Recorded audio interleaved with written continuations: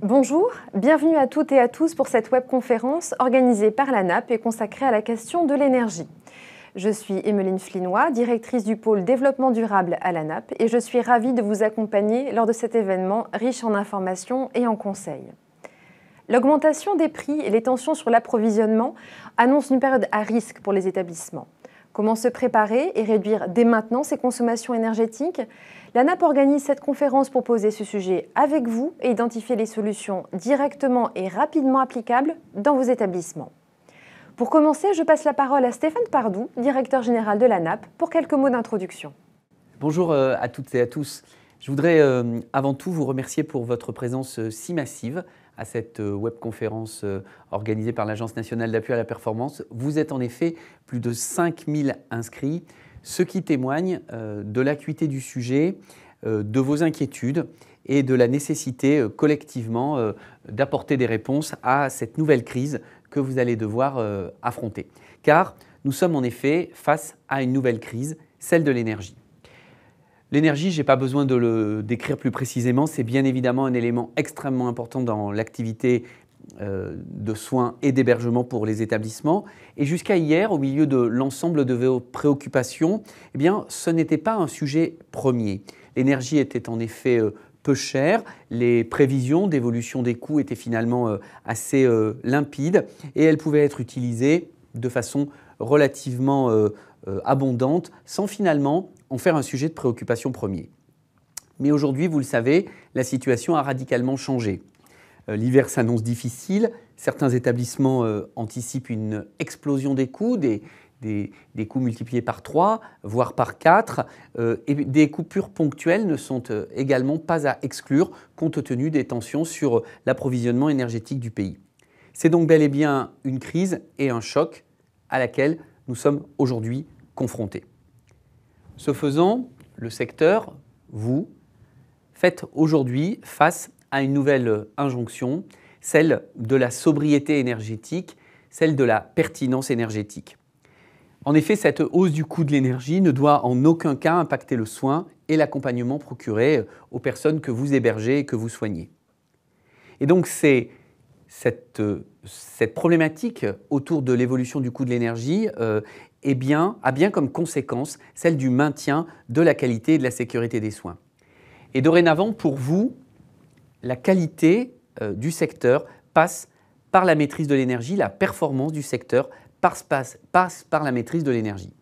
Et à l'Agence nationale euh, d'appui à la performance, nous sommes convaincus que malgré la difficulté de cette crise qui s'annonce, il y a des solutions, des possibilités, des actions qui sont envisageables pour vous permettre de limiter euh, les conséquences de cette crise, pour vous permettre de maintenir la qualité de service et de continuer à, tenir vos établissements malgré cette nouvelle difficulté.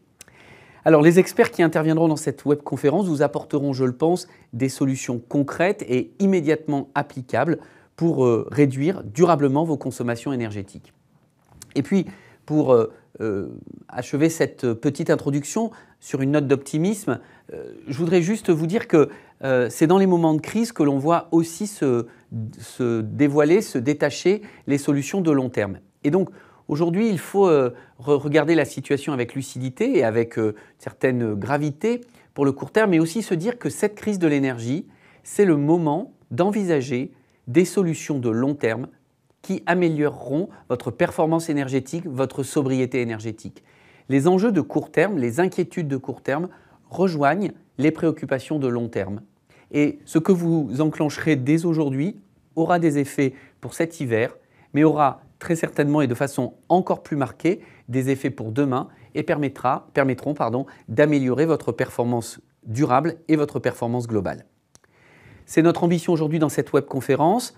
Euh, à l'issue de cette webconférence, n'hésitez pas à partager vos idées avec nous, à nous faire vos retours, à nous indiquer ce que vous souhaiteriez que nous prolongions. Vous pouvez nous écrire sur notre forum anap.fr communauté je suis persuadé que vous avez sur le terrain de nombreuses idées, de nombreuses initiatives que nous nous ferons un plaisir de partager avec la communauté. Merci à l'ensemble des intervenants pour cette webconférence. Merci encore de votre présence si massive. Bon courage à vous et bonne webconférence. Merci Stéphane. Une précision avant de poursuivre cette conférence, vous avez la possibilité de poser vos questions dans le chat, n'hésitez pas. Et pour démarrer nos échanges, j'accueille Fouque Vinen chercheur en politique énergétique à l'Institut Jacques Delors. Bonjour et merci pour l'invitation. Je me présente, Fouvien Nguyen, je suis chercheur en politique énergétique à l'Institut Jacques Delors. Euh, mon travail consiste notamment à réfléchir à la manière dont cette crise géopolitique de l'énergie peut être une opportunité pour accélérer la transition énergétique et venir discuter aujourd'hui d'un thème qui est monté dans le débat public, celui de la sobriété énergétique. Merci pour cette, euh, cette invitation. Euh, l'idée aujourd'hui étant de faire un rapide retour en arrière sur cette crise des prix des énergies. Elle est d'abord née en été 2021, comme vous pouvez le voir sur ce graphique, avec ce qu'on a appelé le premier choc gazier de l'histoire. Pourquoi est-ce qu'on a qualifié cela de choc gazier? Par analogie au choc pétrolier des années 70. Et l'objectif ici est de montrer en réalité que cette crise est sous-jacente à ce qu'on connaît dès à présent aujourd'hui. L'objectif de Vladimir Poutine était d'artificiellement continuer à faire grimper les prix du marché du gaz en opérant une restriction dans les approvisionnements qui s'est opérée au cours de l'année et qui a conduit à une multiplication des prix, vous le voyez sur le graphique, euh, d'un ordre de grandeur de 10. Donc dès à présent, on est sur des prix qui sont durablement élevés et qui vont vraisemblablement le rester pour les années à venir. Et cela s'est translaté au fil du temps sur les prix de l'énergie, pas seulement les prix du gaz, mais aussi sur les prix ici de l'électricité. Pourquoi? Parce qu'en réalité, en Europe, une partie de l'électricité est produite à partir de gaz. 20% de l'électricité est produite à partir de gaz, ce qui signifie qu'à partir du moment où votre gaz est multiplié par 10, les prix de l'électricité vont répercuter cela. Cela nous conduit à dire que pour mettre en place les objectifs de décarbonation, il va falloir opérer une réelle transformation de notre économie. Pour cela, il va falloir repenser notre rapport à l'énergie avec une donnée qui convient de, garder en tête, qui est de dire que cela pourrait durer pendant un certain temps. Ici, vous avez euh, les modélisations de la Banque Centrale Européenne qui vous montrent que les niveaux de prix vont rester élevés à minimum sur les 3-4 années à venir. Le Premier ministre belge parle de 5 à 10 hivers qui pourraient être difficiles avec des niveaux de prix extrêmement élevés. Et on est dans ces ordres de grandeur-là. Et pour résoudre cette crise, pour sortir par le haut de ces niveaux de prix extrêmement élevés, il y a plusieurs moyens euh, à déployer très rapidement. Sur le moyen terme, on parle surtout de ce qu'on appelle la rénovation énergétique des bâtiments et le déploiement des énergies renouvelables qui vont permettre d'économiser du gaz, euh, notamment dans la production d'électricité ou dans la manière dont on va se chauffer. Et puis, à très court terme, un élément a été mis en place qui est celui de la sobriété énergétique. La sobriété énergétique, qu'est-ce que c'est? C'est ce qu'on appelle le changement de comportement pour réduire notre consommation d'énergie et c'est ce qui nous permet en réalité d'aborder l'hiver le plus sereinement possible. À l'heure actuelle, l'Union européenne met en place des mécanismes de solidarité qui permettent aux États membres, sur la base du volontariat, de réduire leur consommation d'énergie et donc de tenter de faire diminuer les prix sur les marchés de gros de l'électricité et du gaz. Ces politiques vont à terme permettre de mettre en place des politiques de décarbonation qui vont nous permettre de mettre en place la transition énergétique, la transition verte telle qu'elle a longtemps été appelée de nos voeux, et en même temps, elles vont permettre de cranter la sobriété énergétique dans le temps auprès de nos concitoyens. Ce qu'il faut comprendre, c'est que la sobriété énergétique n'est pas une mesure d'urgence. Elle est quelque chose qui doit être discuté avec les populations, elle est quelque chose qui doit être mis en place au travers de la concertation. Le meilleur exemple est celui des Pays-Bas, qui en 1973, suite au choc pétrolier, avait déployé un grand plan d'investissement pour favoriser le développement des vélos. Si vous vous baladez désormais à Rotterdam ou Amsterdam, vous voyez tous les bienfaits de ce plan qui a été mis en place avec les populations et qui, dès à présent, pourrait permettre d'économiser de l'énergie en l'espèce du pétrole. Avec un objectif à garder en tête, c'est que tout ce qu'on pourra faire dès à présent permettra de réduire la facture énergétique des Français, tout en assurant notre sécurité d'approvisionnement et en maintenant notre objectif de long terme de lutte contre le réchauffement climatique. Voilà, j'espère que cette présentation a été assez claire, j'espère que euh, vous aurez des retours à, nous faire et n'hésitez pas en tout cas à, poser vos questions par la suite.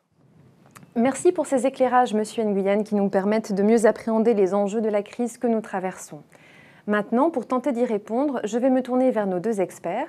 Camille Devreut, tu es experte RSE développement durable à la NAP, et Johan Leloutre, tu es coordinateur régional du dispositif Efficacité et Transition énergétique en santé des Pays de la Loire, rattaché à la MAPES, mission d'appui à la performance des établissements et services. Bienvenue à tous les deux. Camille, nous avons entendu tout à l'heure euh, M. Nguyen nous expliquer l'enjeu mondial euh, et durable euh, de cette crise. Peux-tu nous faire un focus sur les enjeux du secteur sanitaire et médico-social en ce qui concerne la question de l'énergie? Alors, dans le secteur de la santé en France, on compte environ 3 000 établissements sanitaires et 30 000 médico-sociaux, ce qui représente environ 110 millions de mètres carrés de surface et 21,5 TWh de consommation énergétique annuelle, soit 2% de la consommation nationale et 12% de la consommation du secteur tertiaire. Avant la crise, on était déjà à un poste qui représentait plus de 1,5% du budget de fonctionnement. Donc aujourd'hui, c'est un poste qui est encore plus impressionnant dans ces budgets. La collecte des données à renseigner sur, sur Opera a mis en exergue qu'un euh, certain nombre, voire un grand nombre de gestionnaires ne connaissent pas précisément leur surface et euh, ne connaissent pas non plus le détail de leur consommation, donc le fait est qu'ils les suivent encore moins. Euh, les usages significatifs, c'est-à-dire les postes les plus énergivores ou ceux pour lesquels on peut avoir un potentiel d'amélioration significatif, ne sont pas non plus identifiés. Euh, quand, on ne sait pas ce qu'on consomme, comment ni pourquoi, il est difficile d'agir dessus. Euh, ces manquements sont principalement dus à un manque, euh, voire une absence de compétences techniques en interne, ou un manque de temps pour suivre ces contrats, paramétrer ces équipements, etc. D'accord. Donc là, ce que tu nous dis, c'est que la question de l'énergie n'est pas qu'une question de prix qu'on subit, une question d'inflation. Euh, Johan, je, me tourne vers toi. On peut avoir la main sur la question, au moins en partie? Bien évidemment, on est tous euh, maîtres, entre guillemets, euh, acteurs de notre consommation d'énergie et il y a beaucoup d'actions qu'on peut, qu'on peut réaliser, puis on va en voir un certain nombre aujourd'hui. Mais juste avant, j'aimerais revenir sur deux points quand même. tout ce qui va être dit là au cours de ce webinaire, hein, les actions sont aussi bien valables pour les, les, bâtiments neufs que les bâtiments anciens que les projets de construction à venir. Euh, en effet, à la MAPES, on a des indicateurs de consommation d'une centaine d'EHPAD et on ne peut pas tirer de corrélation significative entre le bâti ancien et le bâtiment neuf. On a comparé des EHPAD de 1980, 2000 et 2020 et tout le monde consomme malheureusement 150 kWh euh, par mètre carré. Euh, voilà, donc ça m'arrive aussi, hein, des fois on m'appelle, on me dit j'ai pas besoin de votre accompagnement parce que j'ai un bâtiment de 2018 donc j'ai rien à faire. Au contraire, euh, c'est vous les plus, entre guillemets, peut-être assujettis euh, sur les actions de réglage des équipements. Euh, j'y reviendrai tout à l'heure. voilà. Donc ensuite, dans le domaine de l'efficacité énergétique, on peut le diviser en trois parties. il y a tout ce qui est lié à l'enveloppe, hein, les travaux d'isolation et les menuiseries. Ensuite, comme je viens de l'évoquer, il y a tout ce qui est réglage des équipements CVC, chauffage, ventilation et climatisation. Et enfin, tout ce qui est la sensibilisation du personnel.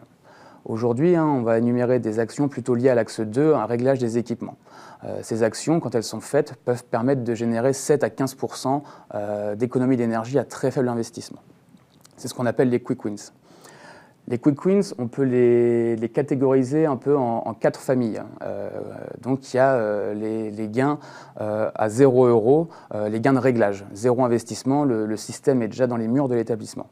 Ensuite, il y a euh, ceux qui nécessitent un investissement un petit peu plus conséquent, mais assez faible, et qui ont des temps de retour inférieurs à 6 mois.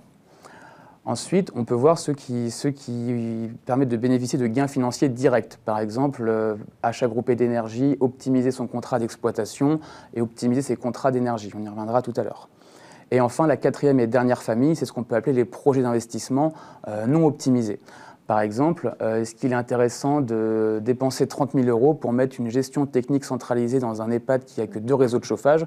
Ça va nécessiter des coûts de maintenance. Et est-ce que l'agent technique en interne euh, a les compétences pour suivre cet outil logiciel? Point d'interrogation. Nous, il y a beaucoup de structures qu'on a suivies qui ont des GTC qui sont maintenant obsolètes et l'investissement n'a pas été entre guillemets rentable.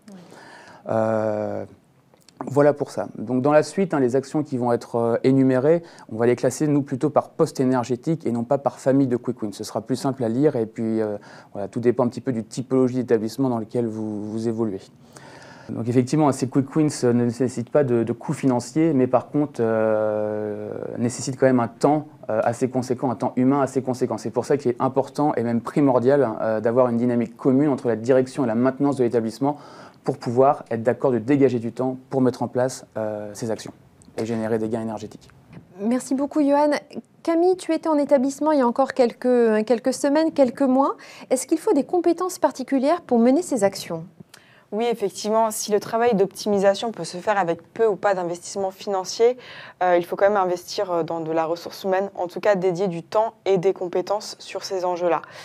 Euh, c'est un petit peu l'objectif des dispositifs comme les conseillers en énergie partagée, les économes de flux ou les conseillers en transition écologique et énergétique en santé, euh, dont le but est de déployer les, compétences euh, au sein du plus grand nombre d'établissements possibles en mutualisant les postes sur plusieurs structures.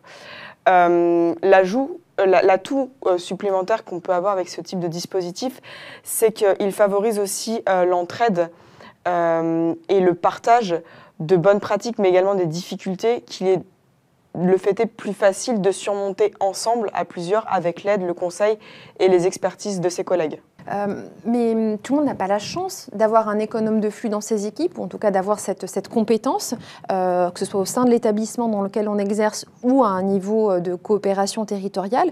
Comment fait-on dans ce cas-là? Alors, il faut s'appuyer sur ses services techniques ou sur son prestataire de maintenance en euh, l'associant pleinement aux stratégies qu'on aura mis euh, euh, au sein de l'établissement avec l'intégration de ces enjeux-là. D'ici l'hiver 2022, les actions vont devoir se concentrer autour du, fonctionnement, de l'optimisation des fonctionnements. Donc voilà, bien faire le point sur ces contrats de maintenance, ce qui est fait effectivement paramétrer ces, ces, équipements, équilibrer les réseaux, etc. comme le disait Johan tout à l'heure, on va se concentrer vraiment dans ce webinaire sur ces actions de maintenance, paramétrage et réglage. Ah, donc sur les fameux 10 conseils euh, que je vous propose euh, d'évoquer sans plus attendre. Le premier que tu préconises, Johan, c'est d'abord de commencer par vérifier ses contrats et notamment la puissance souscrite. Effectivement, oui, les contrats d'énergie sont une première porte d'entrée hein, pour, euh, pour générer du, gain financier. Euh, donc effectivement, première, c'est de, de, les vérifier. On se rend compte, hein, il y a environ deux contrats sur cinq euh, en général qui ne sont pas ou plus adaptés à l'établissement. En effet, hein, l'établissement a évolué, il y a eu des modifications de patrimoine et les contrats n'ont pas forcément été réévalués.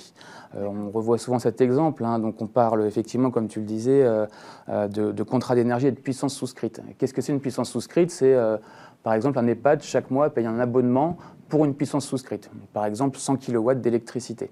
Euh, et ensuite, les, l'EHPAD consomment de l'énergie. Au début, il avait peut-être un contrat à 100 et il consommait 100. Très bien. Sauf que l'EHPAD a évolué, euh, on a remplacé les, les, tubes fluorescents par de la LED et du coup, les consommations électriques de l'établissement ont diminué. Aujourd'hui, des établissements, on en a vu, hein, qui ont maintenant des, toujours une puissance souscrite de 100, mais ne consomment plus que 60. Et du coup, il n'y a plus de corrélation, ça n'a pas été réévalué. Donc là, on peut réduire sa puissance, son abonnement, pour générer du gain financier mensuel et donc annuel et faire des gains financiers directs. D'accord, et donc bien corréler euh, son besoin et euh, le contrat qu'on a souscrit. Euh, Camille, tu préconises de mener la même action pour les réseaux de chaleur à travers ce qu'on appelle la question des règlements de service.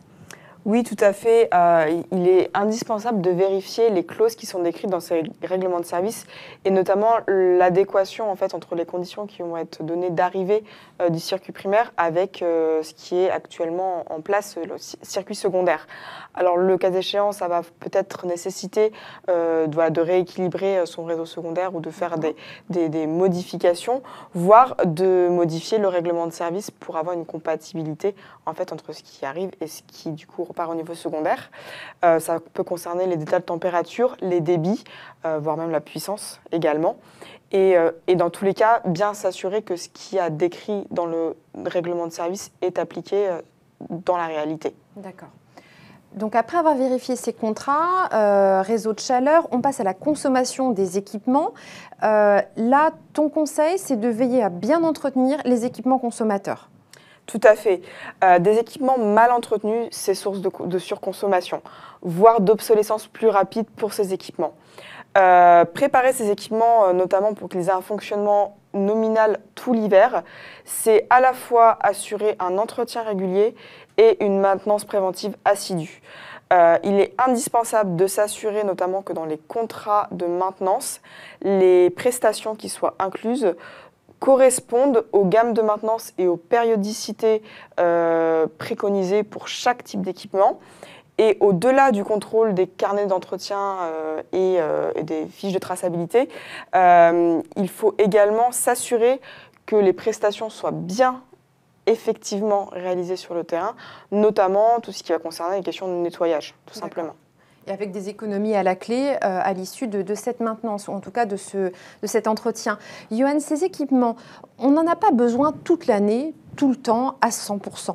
Euh, est-ce qu'on peut envisager, programmer, euh, calibrer ces équipements pour finalement corréler leur consommation à la réalité de nos besoins hospitaliers et médico-sociaux? Bien évidemment, on peut le faire sur chaque poste énergétique. Hein, donc, effectivement, sur, euh, que ce soit la ventilation, le chauffage, l'éclairage, euh, comme tu l'as très bien dit, il faut euh, adapter le besoin à l'usage. Je vais, vous, énumérer rapidement quelques petites actions, hein, notamment la, la, préco phare un petit peu, hein, celle qui génère le, plus gros gain énergétique, qui peut s'intituler Optimiser le réglage des réseaux secondaires de chauffage. Euh, donc je vais être un petit peu technique, mais euh, on, va tous comprendre.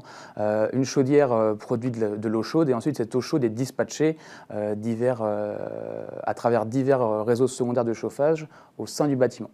Et chaque réseau secondaire peut être régulé selon trois paramètres.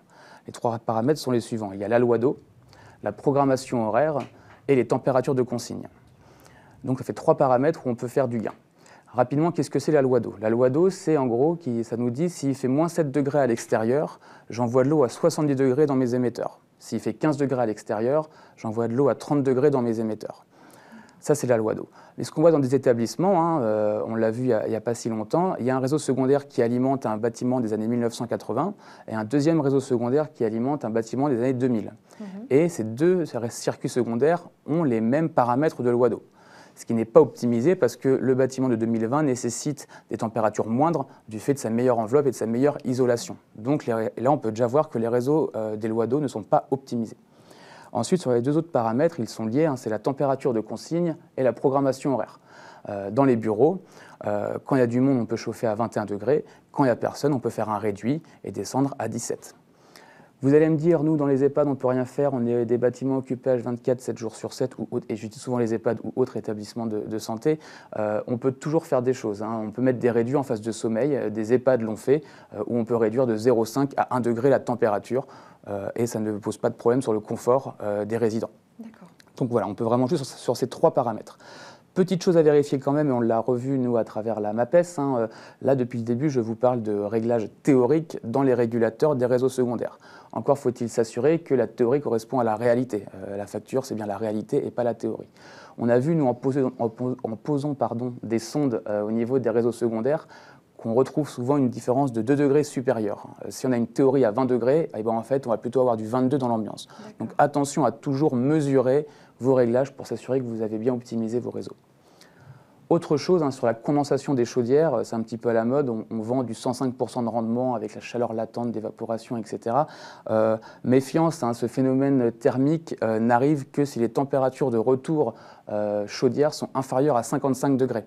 Donc je vous invite dès aujourd'hui ou demain à aller vérifier ça. Et si vous êtes à supérieur à 55, désolé, mais votre chaudière à condensation ne condense pas. Et donc là, je vous invite à travailler votre réseau hydraulique en collaboration avec votre prestataire maintenance. Merci beaucoup, euh, Johan. On le voit avec euh, l'ensemble de ces éléments précis. On est sur des aspects extrêmement techniques que je serais moi-même bien en peine de mettre en œuvre euh, en, établissement. qui, vers qui on peut se tourner pour mener ces actions, ces actions au quotidien?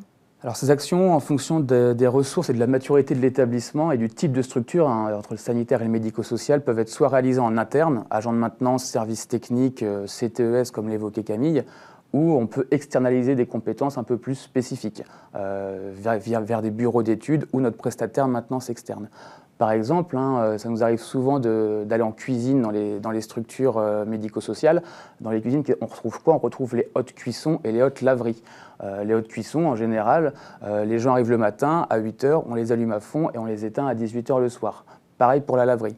C'est faux. la laverie, si le couvercle est baissé et qu'il n'y a pas de dégagement de vapeur, euh, la plonge, pardon, on peut couper la, hotte de la plonge. Pareil pour la hotte de cuisson, qu'on cuise des frites ou qu'on coupe des carottes, on peut faire, faire varier pardon, le variateur de vitesse pour diminuer le débit de ventilation. Et ça, c'est de la sensibilisation et ça fait directement par le chef, euh, le chef cuisine. D'accord, et donc on, voilà, on peut avoir des ressources en interne euh, directement pour mettre tout cela. Donc si je résume, il faut qu'on ait des équipements bien entretenus, bien calibré quand c'est possible. on priorise ces actions dans le plan de charge des équipes services techniques, par exemple. Après, vous le savez, euh, vous connaissez le terrain, euh, les établissements sanitaires et médico-sociaux ont souvent des équipements obsolètes, en bout de course. Euh, Camille, est-ce qu'il est encore temps, lorsqu'on a cette situation-là, de changer ces équipements-là, de changer les sondes, de, mener des petits travaux, que sais-je? Alors oui, complètement. D'ici l'hiver 2022, c'est sûr qu'on est dans un délai relativement contraint, mais il est néanmoins possible d'envisager des travaux avec petits investissements, euh, alors peut-être euh, en tout ou partie, hein, euh, voilà, selon la, taille de sa structure, il ne sera pas forcément envisageable de, tout traiter. Mais si on peut reprendre, je, peux reprendre un exemple et, puis Johan complétera avec d'autres exemples par la suite. Il y a notamment le relamping LED. Donc il s'agisse d'éclairage extérieur ou intérieur. changer son éclairage avec de, par de la LED, ça permet d'avoir des gains significatifs aussi bien en termes de consommation énergétique que aussi en termes de, maintenance et donc de temps, humain. Euh, couplé à des systèmes de programmation, de détection, on peut arriver à avoir des fonctionnements qui sont très optimisés, donc, euh, notamment donc, programmation horaire en lien avec les périodes d'occupation-inoccupation, donc vraiment avec un réglage à la demi-heure près pour avoir le maximum de gains. Il y a également tout ce qui concerne euh, les sondes crépusculaires ou les sondes de luminosité en intérieur qui permettent de moduler euh, l'éclairement en lien avec euh, la luminosité. on parlait tout à l'heure de nettoyage, justement faire extrêmement attention à l'état de propreté de ces sondes. et puis également en termes de détection, voilà, doter toutes les zones dans lesquelles on a une, une présence intermittente, notamment les circulations de détecteurs. Euh, J'en reviens néanmoins au réglage parce que installer des équipements performants est une chose, bien les régler pour qu'ils fonctionnent de façon optimale en est une autre. Sur la partie, euh, on va dire LED, en tout cas euh, l'éclairage, euh, il y a déjà vérifié la pertinence du positionnement de sa sonde ou de son détecteur et également procéder à un double réglage, donc aussi bien en termes de niveau de luminosité et de temporisation. C'est vraiment ce, ce couplage qui permettra d'avoir le maximum de gains. Oui, donc on est vraiment à nouveau, on insiste sur une question euh, de réglage des équipements, de maintenance, euh, voilà, euh, au, plus près, au plus près de l'usage. Johan, au-delà de la question de l'éclairage qu'a bien développé Camille, l'attention de tous est aujourd'hui fortement tournée vers les questions de continuité de chauffage et également d'eau chaude sanitaire, qui sont deux sujets intrinsèquement liés. Là encore, que peut-on faire sur cette question particulièrement aiguë et inquiétante aussi? On peut toujours faire beaucoup de choses. Hein. donc, euh, comme précédemment, je vais peut-être reciter un petit peu des, petites actions. Hein. donc, euh, effectivement, sur le chauffage, euh, ce qu'on peut faire facilement, et notamment aussi avec les certificats d'économie d'énergie, c'est isoler ces réseaux en volume non chauffé. je dis bien isoler en totalité ces réseaux, aussi bien les mètres linéaires que les points singuliers qui sont les pompes, les vannes, etc. on dit en général qu'un mètre non isolé génère entre guillemets 30 à 50 euros de déperdition par an. Euh, donc d'où l'importance d'isoler le moindre mètre linéaire. Euh, pareil, hein, tout à l'heure, on a parlé des lois d'eau et de la régulation en chaufferie. Euh, on peut aussi réguler les émetteurs au niveau des, terminaux de chauffage, avec notamment les, fameux robinets thermostatiques. donc, les robinets thermostatiques sont une bonne chose, hein, mais un robinet thermostatique en position 6 ne sert pas à grand-chose. Donc là, on peut aussi réduire la température d'ambiance en réduisant la plage de fonctionnement. au lieu d'avoir un 0,6 classique, on passe sur du 0,4. Ça permet d'éviter les dérives. Euh, concernant l'eau chaude sanitaire, euh, là aussi, il faut isoler ces réseaux, mais là aussi bien en volume non chauffé qu'en volume chauffé. L'eau chaude sanitaire, c'est un réseau constant à 60-65 degrés pour les questions de légionnelles, donc d'où l'importance d'isoler avec des matériaux euh, performants. concernant l'eau chaude sanitaire aussi, 90% des chaufferies dans lesquelles je rentre hein, sont toutes bien isolées, euh, calorifugées sur le chauffage, etc. Sauf un petit élément qui s'appelle l'échangeur à plaques euh, et qui est du coup, euh, dommage, l'élément le plus déperditif de votre chaufferie. c'est un gros radiateur qui, fait un transfert de chaleur sur l'eau chaude sanitaire. Donc là, on peut l'isoler facilement comme un œuf Kinder. Donc là, il faut se renseigner un petit peu auprès de son prestataire maintenance. Il vous dira sûrement, oh, ça va, on ne peut pas le faire parce que si on le fait et qu'il y a des fuites, on ne verra pas les fuites d'eau. Euh, certes, cependant, dans ce cas-là, il faut euh, décalorifier toute votre chaufferie parce que les fuites d'eau peuvent avoir lieu partout. Donc c'est possible, c'est faisable. Il y en a qui l'ont fait, donc je vous invite à, le faire. Euh, si on continue sur le poste énergétique de l'eau, il faut savoir qu'avant, au niveau des points de puisage des robinets, on, devait avoir 13 litres par minute. Maintenant, on peut descendre facilement à 5-6 litres minute en installant des systèmes hydroéconomes. Pour les douches, initialement on était à 15 et maintenant on peut descendre à 8-9 euh, litres par minute. Ça ne génère pas d'inconfort pour les résidents, des EHPAD une fois de plus l'ont fait, pas de, pas de souci, à part un gain de jusqu'à 50% d'économie d'eau et donc indirectement euh, d'eau chaude sanitaire. sur l'eau, toujours, hein, c'est toujours bien de mettre plutôt des, chasses double commande et, et, effectivement de vérifier toutes les fuites de chasse ou autres fuites sur votre réseau d'eau froide. Euh, encore deux autres petites préconisations avant de, laisser la parole. Euh, la deuxième préco-phare, on peut dire, c'est ce sur la ventilation. La ventilation, c'est quoi? Euh, C'est je fais rentrer de l'air propre extérieur, donc, donc, à température extérieure, donc en hiver par exemple moins 5 degrés, dans mon intérieur. Donc cet air, je dois le chauffer avec mon chauffage. Ensuite, cet air, elle est vicié et je l'extrais vers l'extérieur. Pour l'extraire, on a un caisson de ventilation avec un moteur qui tourne, qui consomme de l'électricité. Donc la ventilation, ça génère deux postes de consommation, du chauffage pour chauffer l'air froid et l'électricité pour rejeter l'air. Euh, et la ventilation, c'est comme le chauffage, si on n'est pas là, on peut l'arrêter.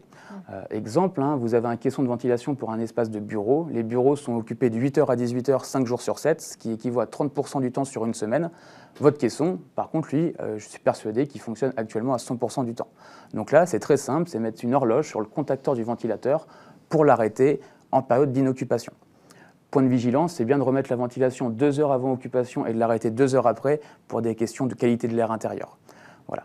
Donc sachez que vous pouvez faire ça sur tous vos caissons. Attention à ne pas faire dans les chambres avec douche, parce que là, pour des questions d'humidité, il faut ventiler H24, 7 jours sur 7. Donc là, on est bien sur des zones à usage euh, à pollution non spécifique, euh, salle d'activité, salle à manger hors occupation euh, et, autres, et autres zones. Donc ça, c'est vraiment une préco-phare à mettre en œuvre et du coup ça nécessite un zoning de vos installations de ventilation sur votre établissement.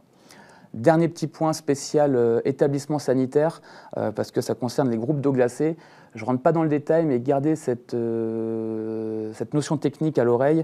C'est ce que ça s'appelle la haute pression flottante. Est-ce que vos installations sont régulées par ce système? Je vous invite à, euh, vous renseigner auprès de votre prestataire. Et si ce n'est pas le cas, je vous invite fortement à réguler comme ça, euh, à réguler par haute pression flottante votre installation. Il y a des fiches chez 2E, ça coûte quasiment rien. Le temps de retour, c'est moins de deux mois. Ça fait vraiment des gains euh, très très conséquents. D'accord. Voilà, j'en ai fini sur, sur ce listing. Merci, merci beaucoup, Yunan. Du coup, en synthèse, on se dit qu'on recense, on calibre, on isole, on change, on renouvelle ce qui peut l'être dans, les délais impartis. Mais là, finalement, on est sur des sujets, sur des questions qui ne concernent que les services techniques et la direction des travaux. Camille? Non, absolument pas. Comme le disait d'ailleurs tout à l'heure euh, Johan, euh, on a besoin de tout le monde et que tout le monde intègre des, gestes dans leur pratique professionnelle au quotidien. Euh, pour cela, le premier point, c'est vraiment euh, d'avoir l'adhésion et l'appropriation de l'ensemble des professionnels vis-à-vis du contexte. Alors le contexte actuel, mais pas seulement celui de la crise énergétique, un contexte global euh, lié au dérèglement climatique et à la, à la raréfaction des ressources. auxquelles on, va, on est tous confrontés, en tout cas on commence à l'être et on mm. va l'être de façon plus en plus prégnante. donc voilà, informer les professionnels de comment l'établissement se prépare euh, à, ce contexte, à ces, à ces enjeux, et euh, comment il renforce sa résilience. Ce que l'établissement met en œuvre dans sa stratégie, dans, voilà, avec ses équipes techniques, etc., pour y répondre, mais également ce que les professionnels au quotidien peuvent faire pour contribuer également à renforcer cette résilience. Donc voilà, expliquer le contexte, expliquer ce qu'on met en œuvre, pourquoi, quelles modifications on a, on fait, et euh, sur nos équipements, sur les programmes horaires, euh, l'impact que ça a sur ces enjeux. rassurer aussi sur le fait que ça n'a pas d'impact sur le confort de la prise en charge des patients ou les conditions de travail des professionnels et également leur partager les petits gestes qu'ils peuvent avoir au quotidien et qui peuvent contribuer voilà, à, renforcer en tout cas la résilience des établissements face à ces enjeux. Également les solliciter euh, voilà, au quotidien, dans leur pratique professionnelle, ils peuvent avoir des suggestions extrêmement pertinentes pour euh, réduire les consommations euh, et, être force d'une voilà, constituer une réelle force de proposition. voilà, donc vraiment les solliciter aussi, aussi bien en leur transmettant les actions qu'ils peuvent mettre en, en, œuvre, mais également en intégrant les retours qu'ils peuvent avoir de leur remontée terrain. Est-ce qu'ils arrivent à identifier euh, dans, euh, dans leurs activités quotidiennes euh, Johan, la mise en œuvre du décret tertiaire, c'est maintenant. aujourd'hui. voilà, c'est une échéance. Est-ce que tu peux nous en dire deux mots et, également évoquer l'outillage que vous avez déployé à la MAPES sur cette question-là? Donc effectivement, le décret tertiaire, c'est maintenant et jusqu'à jusqu'à 2050, hein, donc c'est de l'instantané et du, et du, long terme. Donc ce qui est demandé, hein, vous le savez tous, euh, j'espère maintenant, hein, c'est euh, d'enregistrer votre établissement sur la plateforme Opéra de l'ADEME. Enregistrer son établissement, qu'est-ce que ça veut dire? En gros, c'est euh, une donnée de saisie administrative, des, des données surfaciques, des données de consommation énergétique, et pour finir, euh, un choix d'année de référence à choisir entre 2010 et 2019. Un choix judicieux. Euh, par exemple, si vous, allez si vous avez pardon, isolé vos comptes en 2013, ne choisissez pas 2014, mais plutôt 2012, euh, pour déjà bénéficier des travaux engagés. voilà ce qui est attendu en tout cas pour le, pour le décret tertiaire. sachez hein, que nous, on a quand même des premiers un peu retours d'expérience d'établissements qui ont mis les premiers quick certains quick wins en œuvre et euh, une année de référence euh, bien choisie, plus euh, le, top 3 des, quick wins, on est déjà pas loin des 40% demandés pour, pour 2030. Donc pas d'inquiétude, il faut s'y mettre, certes, il y a du temps à dégager, c'est certain, mais c'est loin d'être infaisable, en tout cas pour cette première marche du décret. Concernant l'outillage de la MAPES, effectivement, donc là, j'ai énuméré aujourd'hui, pardon, nous avons énuméré aujourd'hui une, quinzaine d'actions. Il faut, savoir qu'on peut en trouver peut-être jusqu'à jusqu'à 100 sur les établissements. Euh, donc à la MAPES, avec l'équipe du dispositif ETE, euh, e, on a créé un Excel, plan d'action, comment suivre son plan d'action Quick Wins. Donc il recense euh, la centaine d'actions. Vous venez mettre 0 ou 1 dans les actions que vous voulez mettre en œuvre. Et en face de chaque action, il y a un petit commentaire technique. Est-ce que cette action est rattachée à des fiches C2E ou pas si pas, est-ce que c'est un devis à demander Et ensuite, on a carré rouge, carré orange ou carré vert. Est-ce que l'action a été réalisée en cours ou non réalisée et ça permet du coup de vous faire un plan, euh, votre propre plan d'action Quick Win et de pouvoir le suivre de manière assez euh, simple euh, et, ludique. Et personnalisé finalement. Et personnalisé, bien évidemment. Donc cet outil sera disponible hein, et disponible d'ailleurs sur la base documentaire de la MAPES. Donc je vous invite d'ores et déjà à aller le, télécharger pour commencer à mettre en place vos premières actions. Euh, merci beaucoup, merci, merci à vous deux pour, ces dix conseils, enfin cette dizaine de conseils que vous avez préconisés. On l'a vu avec l'intervention de, de Monsieur Nguyen, tu l'as rappelé également Camille, euh, également avec les enjeux d'opéra qui amènent à se projeter sur euh, plusieurs dizaines d'années en termes de réduction des consommations énergétiques. La question de la gestion efficace de l'énergie, ce qu'on est en train de se dire finalement, c'est qu'elle s'invite très très durablement, durablement pardon, dans nos établissements. Oui, effectivement, bah, on l'a évoqué tout à l'heure, les enjeux de, dérèglement climatique ou de raréfaction des ressources, c'est des enjeux qui s'anticipent euh, voilà, à moyen et, long terme. Le guide d'accompagnement euh, à, l'intégration du développement durable dans les projets d'investissement qui, euh, a été monté par, le Conseil scientifique pour les investissements en santé est également dans cette dynamique, puisqu'il incite à intégrer les, enjeux énergétiques dans son projet investissement quasiment en amont, enfin en amont le plus possible en fait, finalement, dès le début, voilà, mm. dans sa réflexion, euh, voilà, et tout au long, et à le maintenir tout au long jusqu'à la phase d'exploitation, très clairement. Euh, puisque mal investir, mal concevoir et rogner sur son budget, en tout cas rogner sur ses postes dans son budget euh, pour essayer de rester dans l'enveloppe, en fait, c'est le payer sur 50 ans d'exploitation, voire plus, puisqu'on est aussi dans une logique de diminution de l'obsolescence des bâtiments. Mm. Merci à vous deux. Nous arrivons à la fin de cette, conférence.